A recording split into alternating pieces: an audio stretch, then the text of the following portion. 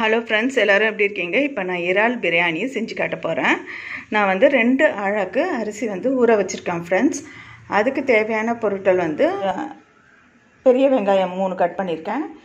தக்காளி வந்து ஒரு ரெண்டு கட் பண்ணி வச்சுருக்கேன்.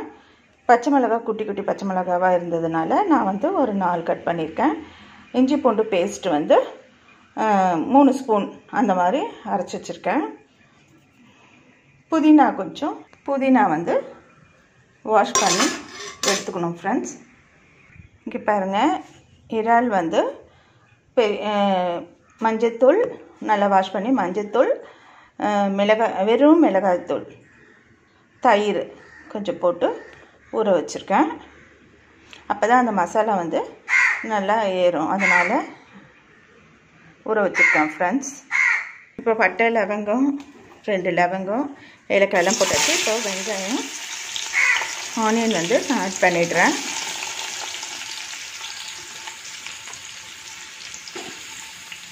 இப்போ இது நல்லா ஃப்ரை ஆன பச்சை மிளகாவும் கீனி வச்சுருக்க பச்சை மிளகாவும் நான் இதில் ஆட் பண்ணிட்டேன். இப்போ ஆனியன் போட்டு நல்லா ஃப்ரை பண்ணணும். நல்லா ப்ரௌனிஷ் ஆகணும். ப்ரௌனிஷ் ஆனதுக்கப்புறம் நான் உங்களுக்கு காட்டுறேன் ஃப்ரெண்ட்ஸ் ஃப்ரெண்ட்ஸ் இப்போ நான் இதுக்கு தேவையான உப்பு வந்து நான் இப்போ இதுலேயே ஆட் பண்ணிடுறேன்.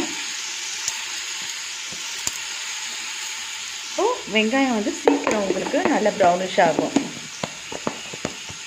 இப்போ ப்ரௌன் ஆகிடுச்சு அதுக்கப்புறம் பார்த்தீங்கன்னா இஞ்சி பூண்டு பேஸ்ட்டு இப்போது ஆட் பண்ணிடுறேன். ஒரு டூ மினிட்ஸ் ஃப்ரை பண்ணணும். ஏன்னா இல்லைன்னா அப்படியே விட்டோன்னா அடி பிடிச்சிரும் அதனால தான்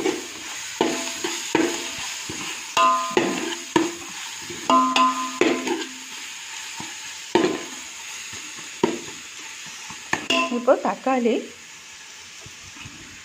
ஆட் பண்ணிடுறேன்.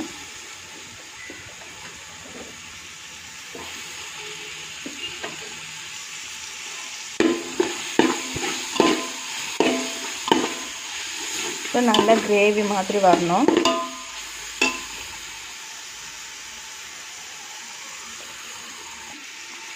இங்கே பாருங்கள் தக்காளி வந்து நல்லா ஃப்ரை ஆகிடுச்சு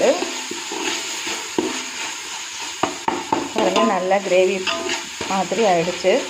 இப்போ இந்த ஸ்டேஜில் நான் வந்து புதினா போடுறேன். கொத்தமல்லியும் புதினாவும் இப்போ நான் ஆட் பண்ணுறேன் ஃப்ரெண்ட்ஸ்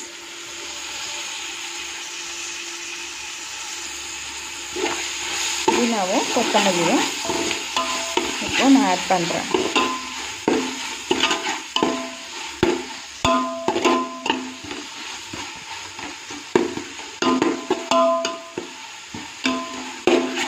டூ மினிட்ஸ் வேணால் ஒரு ஸ்பூன் ஆயில் வந்து நான் ஆட் பண்ணிடுவேன்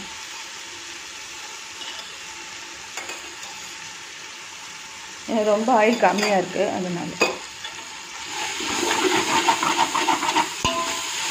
இப்போ இந்த ஸ்டேஜில் நான் வந்து ப்ரான் போடுறேன்.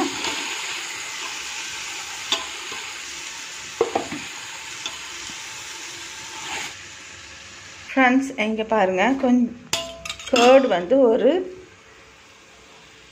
ஒரு ஃபோர் ஸ்பூன் அந்த மாதிரி ஆட் பண்ணிட்டேன்.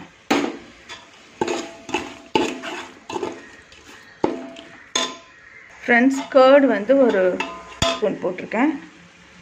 இன்னும் கொஞ்சம் போடுறேன். வேணும்னா காரம் பார்த்துட்டு நம்ம போட்டுக்கலாம்.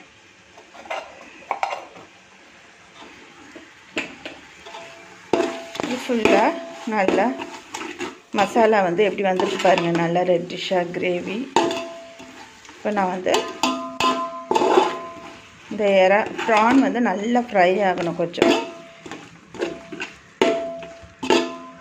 இங்கே பாருங்கள் நல்லா வ ரெண்டு டம்ளர் அரிசி போட்டிருக்கேன். ஊற வச்சுருக்கேன். நாலு டம்ளர் தண்ணி ஆட் பண்ண போகிறேன் ஃப்ரெண்ட்ஸ் ஃப்ரெண்ட்ஸ் எவ்வளோ கலர்ஃபுல்லாக இருக்குது பாருங்கள் இந்த கிரேவி வந்து நல்லா சுருண்டு வந்திருக்கு. இந்த சமயத்தில்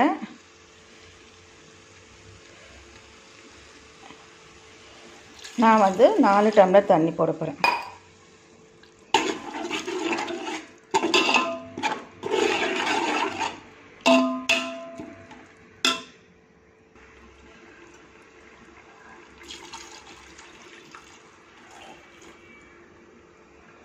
ரெண்டு இன்னும் ரெண்டு டம்ளர் வந்து அங்கே ஊற்றி இன்னும் ரெண்டு டம்ளர் தண்ணி. நாலு டம்ளர் தண்ணி போட்டிருக்கேன். ஃப்ரெண்ட்ஸ் இங்கே பாருங்கள் நல்லா கொதி வந்துடுச்சு. இப்போ நான் ர- அரிசியை போட போகிறேன் இப்போ. தண்ணி இல்லாமல் நல்லா வடித்து வச்சுருக்கேன். இப்போ நான் அரிசியை ரைஸ் இதில் ஆட் பண்ணிட்டேன். ஃப்ரெண்ட்ஸ் இப்போ நல்லா கிளறி விட்டுட்டு சாதமும் அரிசியும் ஈக்குவலாக வரணும். அதுக்கப்புறம் நீங்கள் அடியில். வேண்டாத தவா ஒன்று வச்சு அதுக்கு மேலே இந்த டபரா பிரியாணி டபரா வச்சுட்டு தட்டு போட்டு மூடி சுடு தண்ணி அது மேலே வைக்கணும் ஃப்ரெண்ட்ஸ் டென் மினிட்ஸ் கழித்து நீங்கள் ஓப்பன் பண்ணி பார்த்தீங்கன்னா சூப்பராக பிரியாணி பல பலன்னு ரெடியாக இருக்கும் ஃப்ரெண்ட்ஸ் இந்த வீடியோ பிடிச்சிருந்தா லைக் பண்ணுங்கள் ஷேர் பண்ணுங்கள் சப்ஸ்கிரைப் பண்ணுங்கள் ஃப்ரெண்ட்ஸ் தேங்க்ஸ் ஃபார் வாட்சிங்